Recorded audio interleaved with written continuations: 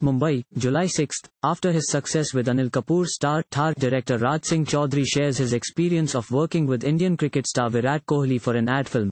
The filmmaker who is also scripting his next movie set again in Rajasthan post Thar confirms, Yes, I have shot an ad with Virat Kohli recently in London for a brand that he endorses. The experience of shooting with him was great. He was absolutely on time and punctual and finished his shooting portion without any hiccups whatsoever and very professional. Elaborating more on his experience with the cricket legend, Raj adds, I am a huge sports fan being a sports person myself and have immense respect for sports people. Virat was very friendly, warm and very good as an actor also.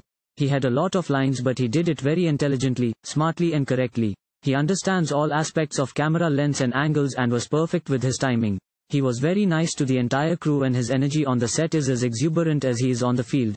I directed something with Roger Federer some time back and it was a similar experience. I love the humbleness and discipline of sports stars. Raj signed off. Thank you for watching. Please subscribe to channel and click on bell for more daily videos.